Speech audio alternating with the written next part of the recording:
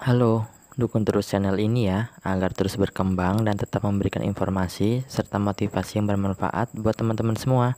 Support dengan cara subscribe, like, and comment. Jangan lupa juga untuk share video ini, semoga bermanfaat.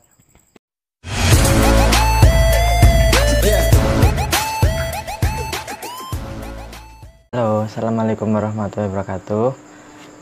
Uh, jumpa lagi di channel Multi TV di video kali ini aku akan bahas tentang cara untuk menaikkan berat badan pada saat GERD. Jadi pernah dulu saya itu eh, pas pertama kena GERD gitu ya itu berat badan turun sekitar 15 kg dalam waktu kurang lebih satu bulan. Eh, itu drastis banget. Jadi berat badan langsung turun dan benar-benar uh, seperti nggak ada nutrisi gitu kurang kekurangan nutrisi badan itu uh, lemah gitu ya lelah lemah lesu gitu. Jadi emang benar-benar ini banget lah drop banget gitu. Uh, pada awal-awal pengobatan sih karena uh, karena pantangan juga jadi kok emang asupannya kurang gitu. Sampai gula darah turun juga pernah gitu jadi banyak banget gitu. Terus pas sekitar enam bulan pengobatan dokter selesai uh, membaik gitu udah lumayan membaik cuman sayangnya waktu itu saya belum mantang juga jadi kadang sering kambuh-kambuhan. Cuman uh, perlahan berat badan saya naik gitu. Uh, saya menggunakan jamu tradisional yaitu saya buat sendiri yaitu yang ter uh, ramuannya atau jamu tradisionalnya terdiri dari kunyit, temulawak, sama lempuyang. Jadi tiga bahan itu saya saya kombinasikan uh, jadi satu ramuan, kemudian saya minum dan alhamdulillah efeknya bagus banget di badan juga uh, bisa menaikin berat badan bisa menambah nafsu makan juga bisa mengontrol makan juga dan melancarkan pencernaan juga. Untuk cara membuatnya teman-teman bisa sediakan kunyit. Kunyit kalau kunyit uh, saya gunakan kunyit yang empu ya yang apa yang bulat-bulat itu itu kan kandungannya lebih bagus atau kunyit biasa juga bisa yang bentuknya agak panjang-panjang gitu. E, biasa kunyit dikupas di sekitar ukuran seruas jari kita aja seruas jari. Nanti sama temulawak juga sama yang juga. Karena bentuknya beda ya dikira-kira aja biar kira-kira sama gitu seruas jari dari kita di kira-kira bentuknya uh, biar ukurannya agak sama gitu. Kemudian kita bisa parut dengan parutan kelapa atau juga dengan blender biar lebih praktis. Ditambahkan air air putih. Air putih yang sudah masak ya kita tambahkan. Boleh yang hangat boleh yang biasa tapi jangan yang dingin. Kita tambahkan blender. Setelah itu kita saring kemudian bisa langsung diminum.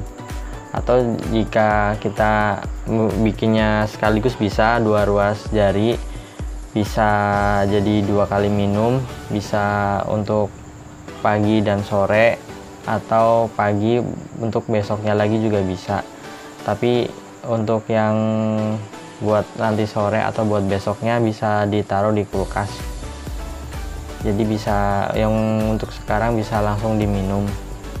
Untuk aturan minumnya sendiri itu satu minggu bisa tiga kali ya. Kalau awal-awal minum awal maksudnya e, misal lagi awal parah gitu bisa seminggu tiga kali sebelum sarapan pagi. Ya kira-kira kurang lebih 15 menit atau 30 menit sebelum sarapan. Kalau sudah dua minggu kita bisa dikurangi. Jadi seminggu seminggu dua kali aja minumnya. Kalau ya sama untuk cara minumnya. 15 atau 30 menit sebelum makan. Kemudian efek yang saya rasakan setelah minum ramuan tersebut itu di badan juga agak mendingan ada agak enakan. Terutama kelihatan ya dulu kan di bagian uh, pundak sini ya itu kelihatan kurus banget. Uh, setelah rutin konsumsi sekitar satu bulan lah udah mulai kelihatan. Udah mulai di badan juga seger gitu. Terus nggak gampang capek. Uh, terus uh, di pencernaan juga lancar terus nafsu makan juga bertambah tapi tetap terkontrol gitu. Jadi nggak nggak nggak makan banyak-banyak juga. Jadi kita juga bisa mengontrol dengan dengan sendirinya gitu. Dengan uh, porsi makan yang sedikit atau ber, uh, kita kurangi itu cepat kenyang juga. Di perut juga nggak begah gitu ya. Enak nyaman terus hmm, untuk BAB juga lancar. Terus perut yang tadinya perih yang gampang perih tadinya sering mulas-mulas juga sering kembung juga. Itu ber, berangsur membaik berangsur berkurang keluhan-keluhan tersebut. Jadi nyaman aja gitu di perut. Otomatis tidur juga lumayan sedikit berkualitas ya bertahap gitu. Dan pada akhirnya nanti juga benar-benar berkualitas bisa teman-teman dapatkan dari terapi jamu ini gitu. Untuk campurannya teman-teman bisa tambahkan sedikit garam ya agar nggak nggak terasa getir saat diminum. Sedikit saja garam juga saat di blender dicampurkan sedikit saja atau kalau lebih bagusnya teman-teman bisa tambahkan madu. Untuk penambahan madunya setelah disaring ya setelah ketiga bahan tersebut di blender atau diparut kemudian disaring. Nah setelah itu kita bisa tambahkan madu eh, satu sendok teh untuk sekali minum. Madu apa saja bisa. Untuk manfaatnya yaitu banyak banget. Eh, secara umum itu bagus banget buat tubuh. Ada temulawak bisa buat pencernaan bisa buat liver juga bisa buat daya tahan tubuh juga. Untuk kunyit juga buat buat pencernaan bagus banget terutama buat lambung. Terus buat imun juga buat daya tahan tubuhnya. Terus buat menurunkan kadar gula dalam darah juga bisa. Terus bisa mengencarkan darah yang kental juga bisa untuk lemboyangnya juga bermanfaat banget buat e, nambah nafsu makan saat misalnya kita sakit GERD gitu kan biasanya sering mual, sering muntah gitu ya. Nafsu makan berkurang. Dengan lemboyang ini juga bagus buat nambah nafsu makan kita, tapi tetap terkontrol gitu. Jadi secara umum sih dari ketiga bahan tersebut bagus banget buat tubuh, buat pencernaan, buat liver, buat imunnya juga, buat nafsu makannya juga. Jadi benar-benar bagus deh buat teman-teman bisa coba.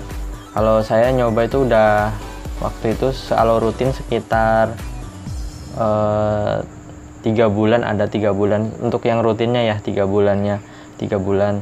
Untuk yang setelahnya saya jarang-jarang kadang-kadang saja gitu saya minum dan alhamdulillah bagus e, berat badan juga nggak nggak nggak nggak naiknya juga nggak drastis.